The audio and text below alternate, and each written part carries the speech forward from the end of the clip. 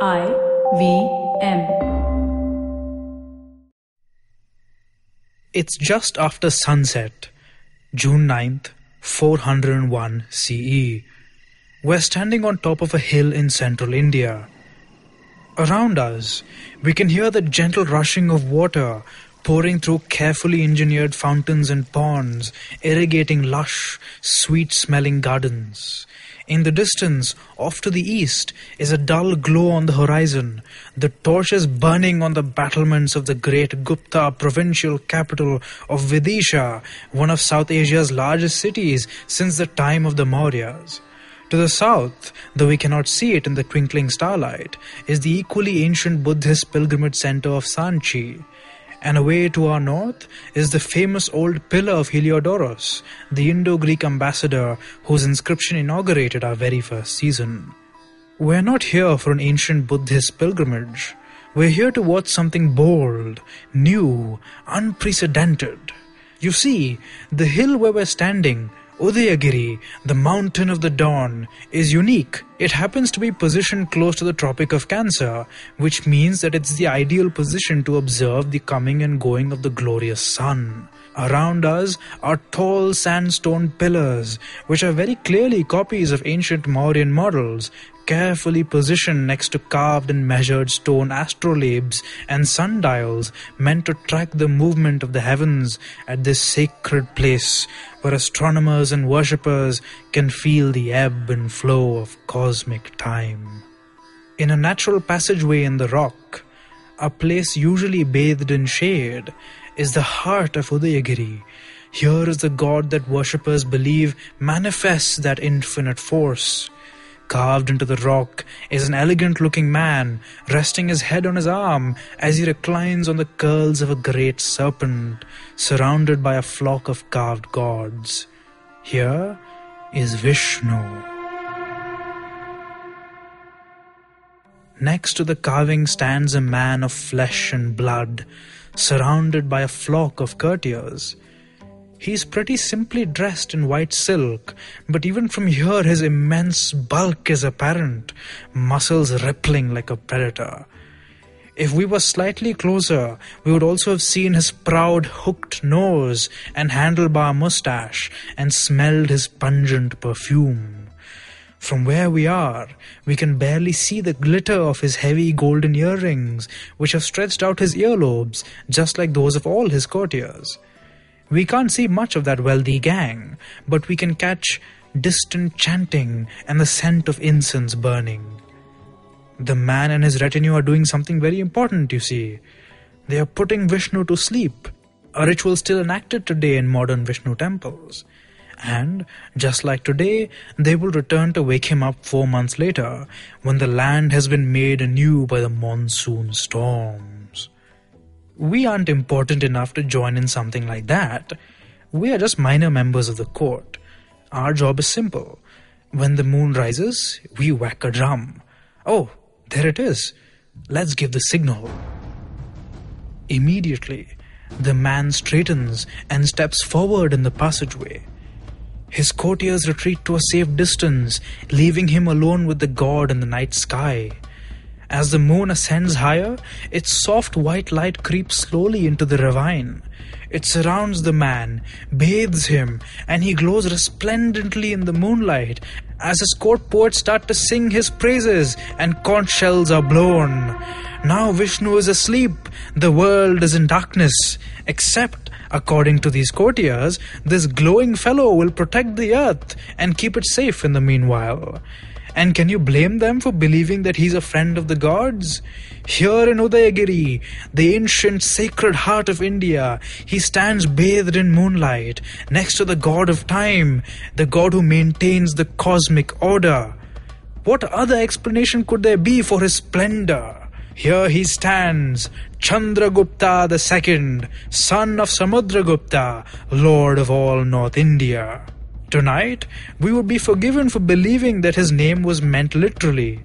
His father had been sea guarded, but this man, still shining pale in the soft shadows of the sacred rock, is very obviously moon guarded. I'm Anirudh Kanisetti, and welcome back to Echoes of India, a history podcast. This episode is mostly based on Michael Willis's fantastic book, The Archaeology of Hindu Ritual, which I highly recommend you read. So, Udayagiri, Udayagiri, Udayagiri. What's going on here? What's Chandragupta's deal? Over the last two episodes of this season, we've seen the many foundations of Gupta kingship. Episode 1 was Samudragupta's undoubtable military genius. Episode 2 was about their use of Sanskrit, especially in the royal eulogy or prashasti. Now, in that episode, I said something about how these kings made a cocktail of sculpture, art, literature, religion, politics, and astronomy. Technically speaking, they must have made multiple such cocktails because they were all drunk on fame. but uh, definitely the strongest and most prominent of these cocktails was at Udayagiri. So let's have a taste. Why have I brought you here? As I said, Udayagiri in the 5th century was positioned very close to the Tropic of Cancer which means that it's perfect for observing solstices and equinoxes. The Guptas were by no means the first people to figure that out. In fact, Indians had been watching the sun and stars for at least 2000 years already by this point, and the summer solstice is particularly important to the Indian subcontinent because the monsoons, which are so important to agriculture even today, show up soon after the summer solstice. So it's a pretty natural leap, right? If you're an ancient Indian and you don't know how gravity and planetary orbits work, you're going to think, okay, so there must be some kind of force here that allows us to observe this endless cycle of time at this particular spot. It must be sacred. Maybe there's a god here. So let's say you believe that. Which god do you think would have done something like this? How about this guy? The blessed Lord said, Time I am, destroyer of the worlds and I have come to engage all people. With the exception of you, the Pandavas, all the soldiers here on both sides will be slain. That's the man himself. Vishnu, the protagonist of myths and legends associated with heroism and kingship, but also the preservation and or creation of the cosmos. So through his connection to time and space, which Vishnu had, in all fairness, been associated with since the very earliest mentions of him in the Rig Veda, you'd expect that, yeah, Vishnu must be present in some form or the other at Udayagiri. Cool. So now, what do you do with this information? Turn it to your benefit, of course. So let's say you're Chandragupta. You know that over the last couple of hundred years, as with so many other texts, standard versions of the Ramayana and the Mahabharata have been written down on the subcontinent. These vast, constantly evolving stories were ancient indeed at their core and were generally pretty folksy and like mostly communicated orally. The written down versions, on the other hand, definitely emerged within a literate sort of culture. Their compilations were paid for by royal courts and often reflected the courtly worldview, which meant that they lionized kingship and war and all these disturbing patriarchal values, which will come to another episode. Now, you, Chandragupta, know that because of these stories, Vishnu is popular and relatable, and also much more strongly tied to the idea of divine kingship than any other contemporary god. And you, Chandragupta, also control Udayagiri, where Vishnu is supposedly present. So, what do you do if you're a political mastermind? You strengthen Udayagiri's connection to Vishnu so people associate Udayagiri with him. Then you strengthen your connection to Udayagiri so people associate Udayagiri with you. And in doing so, you create a very tangible, visible connection between yourself and Vishnu and create a very, very potent, almost physical claim to power. Do you see where I'm going with this? Now, I can't claim to have read Chandragupta's mind, but it's beyond question that he utterly transformed Udayagiri, which was once a pretty insignificant bunch of caves and sandstone cliffs, not really much to say compared uh, to, say, Sanchi, which thronged with Buddhist pilgrims, monks, and laity. The first step in this transformation was to make the place beautiful, a place suitable for a god to dwell in, a place suitable for pilgrims to visit and chill out in the vast resources of the Gupta political network were brought to bear. Its artists, its sculptors, poets, engineers, and priests would have been assembled and unleashed. The flat plateau of Udayagiri was transformed with reservoirs to collect rainwater and runoff. all connected with perfectly measured pipes and intricate channels flowing through manicured gardens planted with aromatic plants. As Michael Willis puts it, from the hot and dusty rocks of Udaygiri today, we have to picture a cool and wet environment water flowing and dripping everywhere in carefully organized channels, lovely plants and fragrant flowers growing in abundance, clear pools and tanks lined with lotuses and waterbirds. It would have exuded an air of natural splendor, but perfected and elevated by human hands into something of great beauty and auspiciousness. There may even have been a royal enclosure for kings to stay in, and Chandragupta, as we'll see, had very good reasons to repeatedly visit Udaygiri. The crux of these extraordinarily advanced waterworks, all this hydrological engineering, complete with waterproof tanks and even dams, was a huge reservoir at the head of the passage that we saw in the beginning of this episode. Here, Gupta engineering is even more apparent in its stunning simplicity. They carved huge, platform like steps into the passageway and released water from the reservoir onto them at a fixed rate. Since they knew the rate of flow of the water and the precise dimensions of each step, this long, cascading fountain formed basically a colossal water clock, next to which reclined that carving of Vishnu, the god of time, chilling out next to time made manifest by the hands of humans, sprinkled by cool mist to control the immense heat that these idols are believed to contain. And as we've seen, in this place, Chandragupta was able to use the astronomical position of the sacred site to establish his own relationship to Vishnu and to his namesake, Chandra, the moon, putting Vishnu to sleep every year on the 11th night of the bright half of the month of Ashadha, when the moon was waxing.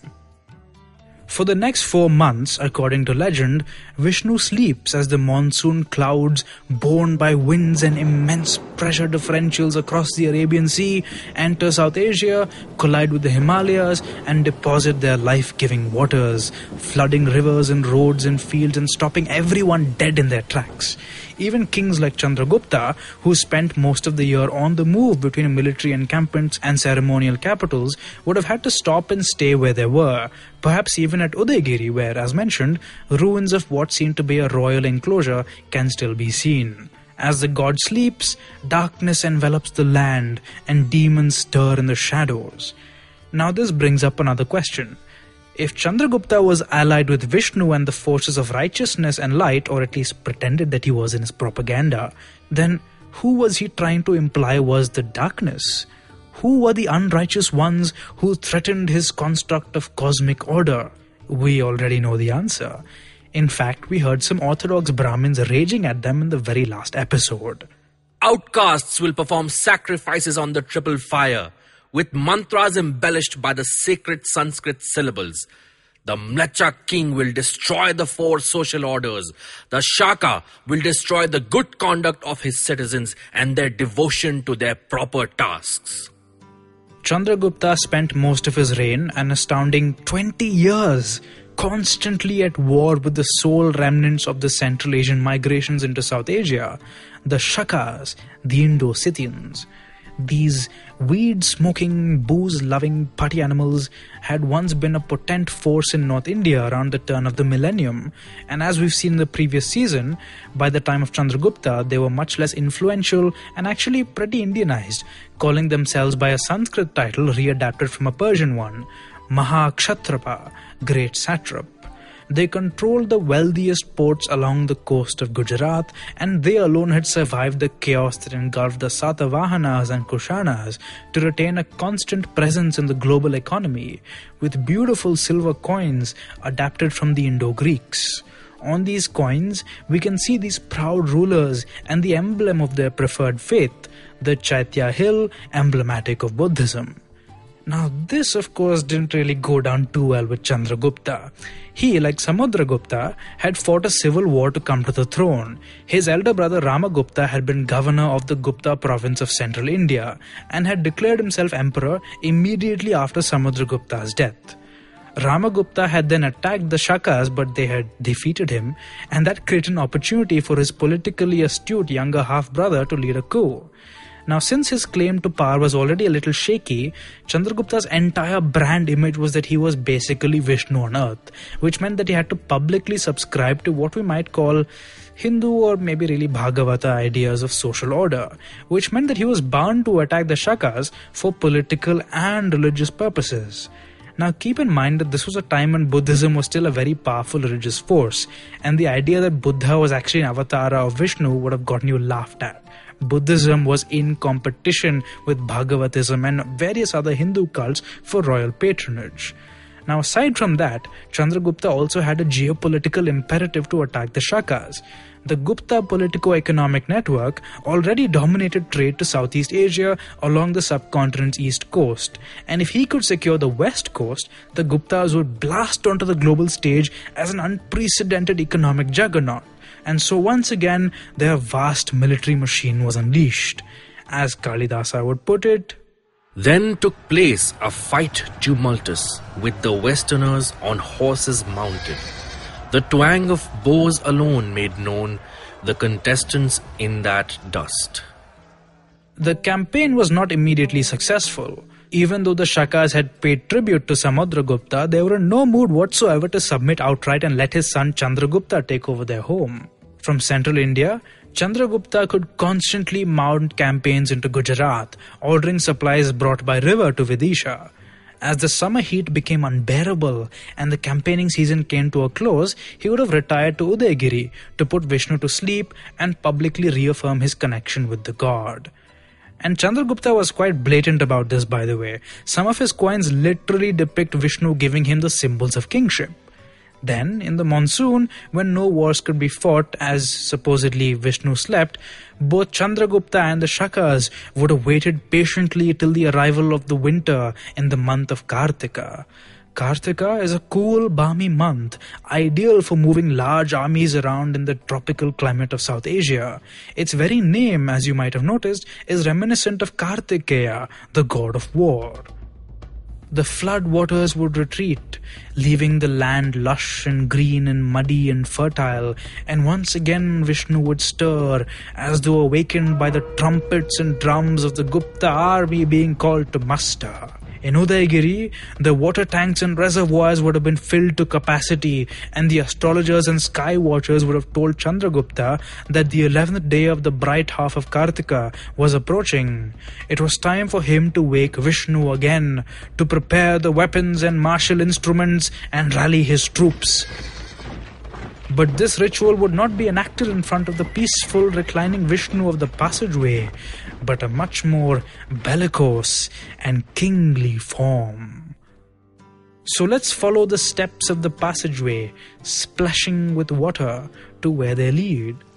They flow into a large pond, carved in front of the cliff face looking east, so that the sun's rays find it at dawn. They glitter off the lotus buds and reflect off the gently lapping waves onto a colossal carving that's so detailed it even has stone lotuses and waves merging with the real ones in the pool. This is Vishnu, but not Vishnu as you generally think of him.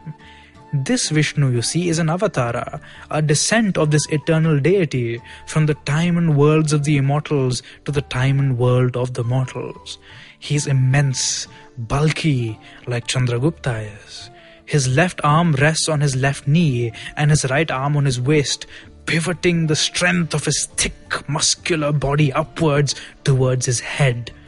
The weight of his effort is borne by his left foot, which crushes the coiled mass of a Naga serpent that quails terrified at his feet. His head is that of a huge wild boar, an animal associated with strength, rains, fertility. Holding on to his tusk and staring with gratitude at his glaring eyes is a small, elegant woman, and next to him stand a crowd of gods and sages and two more beautiful women representing the Ganga and Yamuna rivers. Who is this avatara? After the great deluge, Pralaya ended the last universe. Vishnu slept on his great serpent, Anantashesha, the endless remnant, the residue of creation, from which creation is remade. The demon Hiranyaksha watched as the universe was reborn, and his eye alighted on the beautiful goddess Prithvi. Earth. He seized her and carried her down to the deepest depths of the sea. When Vishnu awakened, he saw the plight of the earth. He turned into a colossal boar, Varaha, and dove into the ocean, where he killed Hiranyaksha. Then, digging with his tusks at the bottom of the abyss, he found the earth and raised her up, up, back to the surface of the ocean. He then married Earth and had a son by her. The parallels to Chandragupta and Udayagiri are striking and have been commented upon by scholars such as V.S. Agrawala and S.K. Goyal since the 60s. This is a metaphor in stone, a visual Shlesha, and as the art historian Frederick Asher puts it, it provides cosmic significance to a historical event. Chandragupta, like Varaha, had emerged from the sea, Samudra, in his case Samudragupta. But you could also see Varaha, like Samudragupta, as being guarded by the sea, which is why he is seen dominating creatures associated with the waters. In his case, the Naga dynasty of west central India represented very appropriately quailing at his feet. Incidentally, the Naga dynasty were Chandragupta's in laws. His wife, the Princess Kubera Naga, bore him a daughter, Prabhavati, who would grow up to be an utterly fascinating woman. But wait, don't let me get distracted. We could actually quite viably interpret the Varaha as Samudragupta because it's a Shlesha, and the whole point of a Shlesha is it's meant to be interpreted multiple ways. But let's focus on Prabhavati's dad instead. Now, Prabhavati's dad, Chandragupta, like this Varaha, was surrounded by the Ganga and Yamuna rivers. They were part of the Gupta imperial banner, and Prayaga, the confluence of their waters, was a major sacred site and imperial center. Chandragupta, like Varaha, was surrounded by flocks of adoring, terrified vassals. Indeed, some of the carvings next to Varaha are wearing Kushana costumes. And most importantly, Chandragupta, like Varaha, had seized and dominated the earth through his conquests. Now, this is super important because what he's saying is that he is Earth's Lord, he is Earth's husband, he has authority to make peace and war as he sees fit, and more importantly, to give away and redistribute land to his allies and colleagues as he sees fit. Thus, every year, as Varaha awoke to save the earth, Chandragupta embarked on his campaigns to dominate the Shakas. Do you see how complex and potent the message would have been to any ancient Indian, at least one who was already a fan of the Guptas or happened to be religious? Here, astronomy, technology, religious belief, ritual, and art are repurposed and reinvented. Tradition fused with innovation to become political propaganda of a mind boggling degree of complexity and sophistication. What you and I witnessed in the beginning of the episode was no less than the invention of the Indian kingship that we are most familiar with. At this point, new, astounding, innovative, but also traditional, status quo tied into other potent ancient ideas of royalty, such as those of the Manusmriti. Like the sun, he burns eyes and minds. No one on earth can bear to gaze upon him. He is fire. He is wind. He is the sun. He is the moon. He is Yama, Lord of Dharma. He is Kubera, Lord of Wealth. He is Varuna, Lord of Justice. He is Indra, Lord of Gods, by reason of his power. It's utterly remarkable how even the most daring innovations in South Asian history are often couched in the language of tradition, isn't it? The elite audience of this spectacular propaganda were, as I said in the last episode, well trained in Sanskrit literature and literary devices, and they would immediately have grasped the significance of what Chandragupta was doing. They themselves would go on to readapt it multiple times, as we'll see over the centuries. But let's be perfectly clear about the significance of what had happened in North India in the early 5th century. Driven by much deeper factors and, of course, enabled by a great deal of agency and dumb luck, Samudragupta had established a template of the military king. Now, his son Chandragupta established the template of the political and religious king, creating a special relationship with the gods and declaring himself Parama Bhagavata, foremost devotee of Vishnu. Now, the kings weren't necessarily responsible for all this. They obviously had very large and talented teams of courtiers, but the principle still stands. Henceforth, to the Guptas, the Vishnu allegory would be all present. The king, like Vishnu, is associated with the goddess Lakshmi, fortune, who appears on his coins.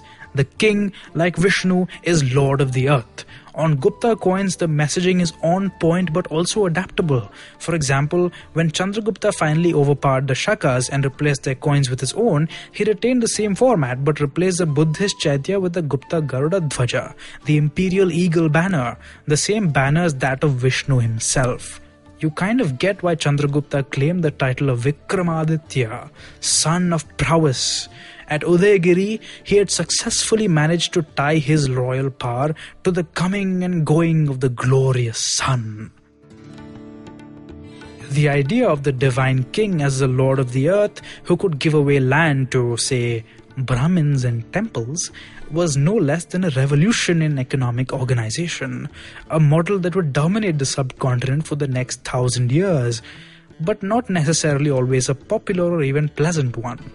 Strangely enough, the clearest early indication that we see of this had little to do with any kings at all, but instead a queen. Join us in the next episode of Echoes of India to hear the story of Prabhavati Gupta, Chandragupta's daughter and one of the most remarkable women of her time. I want to hear what you think of Echoes. Keep in touch with me on Twitter at Akanisetti, that's A K A N I C T T I, or tag me in an Instagram story. Just search for my name. If you like this podcast, you could also leave us a rating and a review. And don't forget to check out other interesting podcasts on the IVM network. You can listen to us on the IVM Podcast app or ivmpodcast.com. And while you're at it, follow us on Twitter and Instagram as well at IVM Podcasts.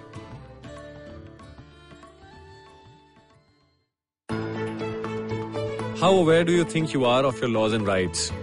Do you look up to laws when you are caught up in situations? Do you know what your rights are when you're stuck somewhere bad? Well, here's a show that can help you move an inch closer to being aware of what your rights are.